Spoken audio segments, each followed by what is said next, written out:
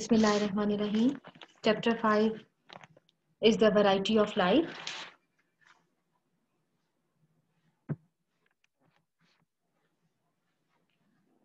This is the uh, topic of 2 to 5 kingdom classification systems on page number 69 of your books.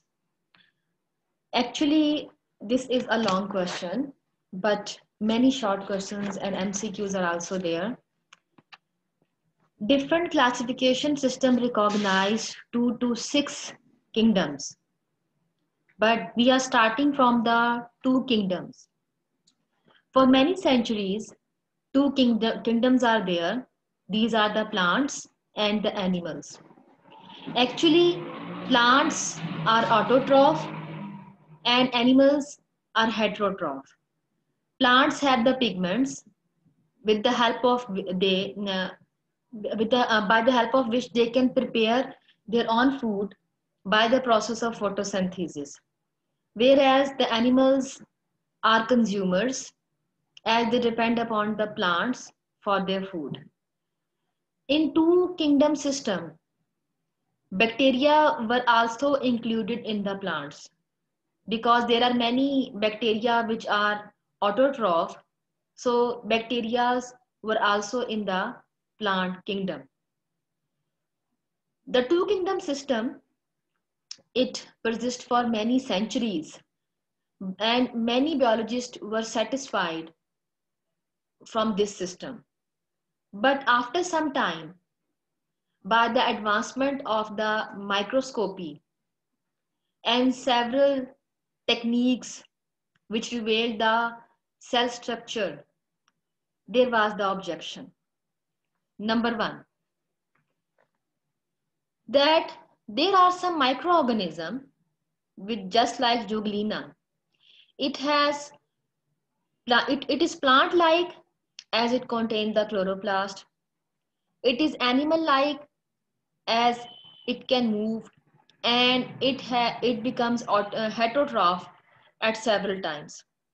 Number two, this two kingdom system does not explain the difference between the prokaryotes and eukaryotes.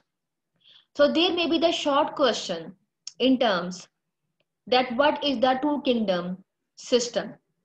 So if there is a short question, you can write this stuff that this is the system consisting of two categories, bacteria included in the plants and what is the objection on this system? You can give the example like this, Euglena and prokaryotes and eukaryotes. Next one is the third kingdom system. Now, in 1866, Ernest Haeckel, he proposed the third kingdom, Protista. Protista has the microorganisms which has which are euglena like or bacteria like at that time. Now he has proposed a system which includes the plants animals and protista. And he categorized the bacteria and other microorganisms in the protista category. Now after some time in 1937, E. Chatton, he devised the fourth kingdom system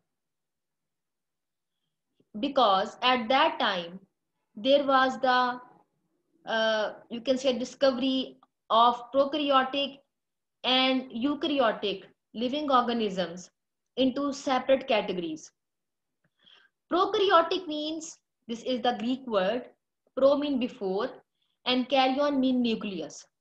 Examples are bacteria and blue-green algae. And eukaryotic mean, you mean true, and karyon mean nucleus. Examples are animals and plant cells. So he devised a system in which there are categories like the prokaryote, protista, plants, and animals. This was called the four kingdom system. Now, Prokaryotes are those which are not which are not having the definite nucleus in them, whereas the protista plants and animals they have the definite nucleus in them. So if you have the question that what is the three kingdom system or who proposed the three kingdom system or what are the objections which are raised against this system. You can write that third kingdom system mean plants animals and protista and you can write the objection that there was no place of prokaryotic and eukaryotic organisms in that system. And in the fourth kingdom system you can write that who proposed the system and this system comprises the uh, you can say involvement of prokaryotic and eukaryotic organisms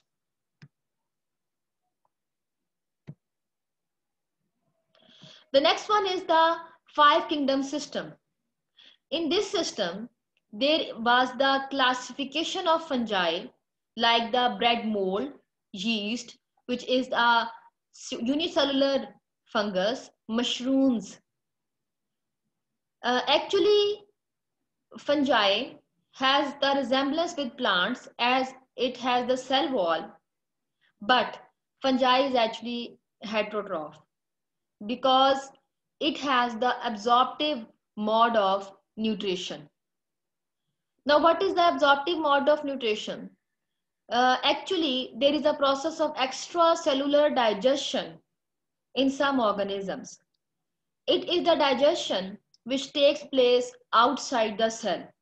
So the fungus which has the hyphae in its body, so from the hyphae, the enzymes are released.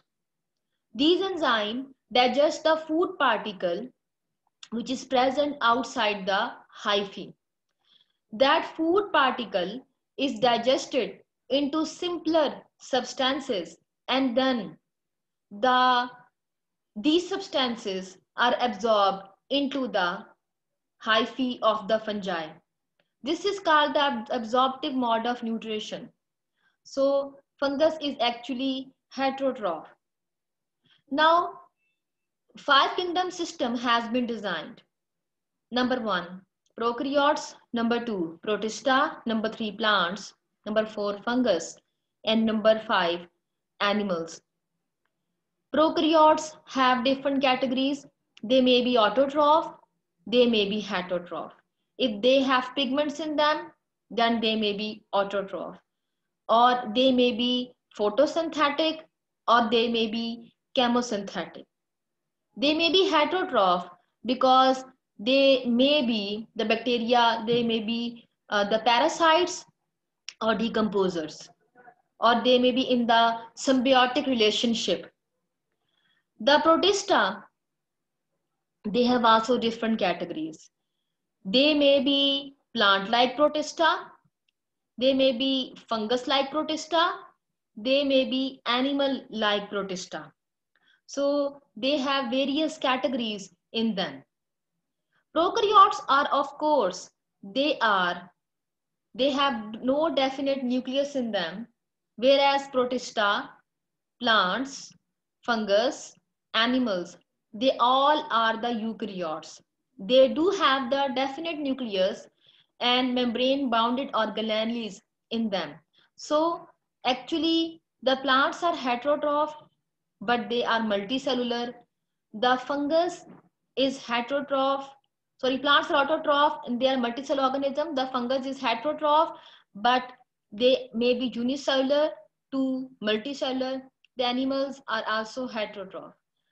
The fungus, they undergo the absorptive mode of nutrition, whereas the animals, they undergo the ingestive mode of nutrition, just like us. We, uh, we take the food with the help of our mouth. So these are all the categories of eukaryotes.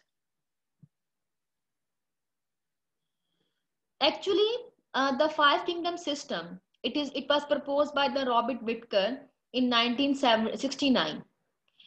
It includes Monera, mean the prokaryotes or the bacteria-like organisms, blue-green algae, protista, plants, fungus, and animals.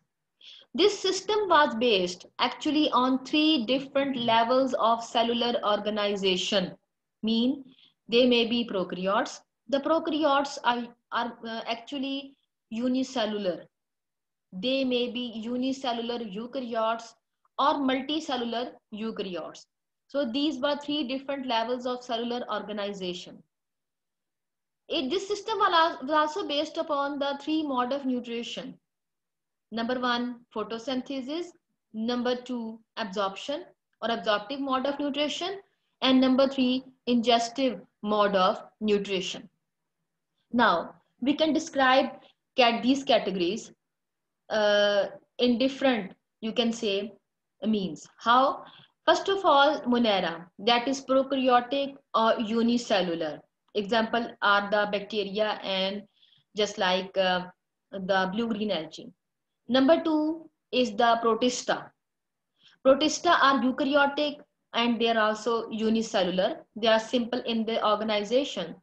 And they, there are plant-like protista, fungus-like protista, and animals-like protista. Next category is the plant. Plants are autotroph, eukaryotic, multicellular. Next category is the fungus. Eukaryotic, multicellular, heterotrophic, and reducers mean decomposers. Animals, eukaryotic, multicellular, heterotrophic consumers, just like the herbivores, omnivores, car carnivores.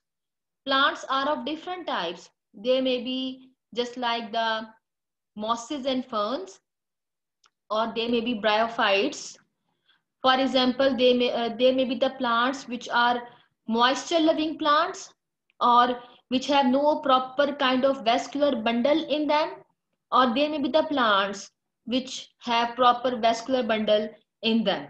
So there are also various categories of plants and the animals are dependent upon the plants for their food. Now the, there is the modification of this five kingdom system again in 1988 by Lynn Margulis and Carolyn Schwartz. First of all, in the previous topic, we have done that uh, the, uh, you can say the, categ uh, the categories or the five kingdom system was based on the cellular organization, just like that uh, they, they may be the prokaryotes or eukaryotes, or they may be the unicellular or multicellular eukaryotes.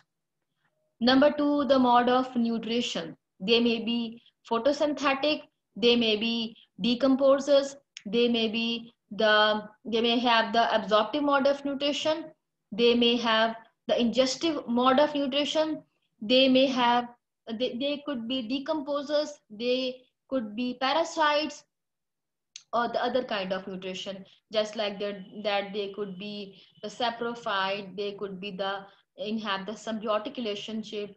So these are all the mode of nutrition. So next one is the cytology. About uh, it, this is actually based upon the study of cell and then the genetics. For example, the uh, uh, you can say the biochemistry or the DNA, structure of DNA, the proportion of various organic and inorganic substances, RNA, synthesis of protein, its inheritance. So then the organelles of symbiotic origin, just like the mitochondria and chloroplast. So the modification of the five kingdom system was based upon these, uh, you can say the five points, important five points. There should be, there will be also a question, uh, the short question about this topic that uh, on, on which uh, points or which factors the modification of five kingdom system is based.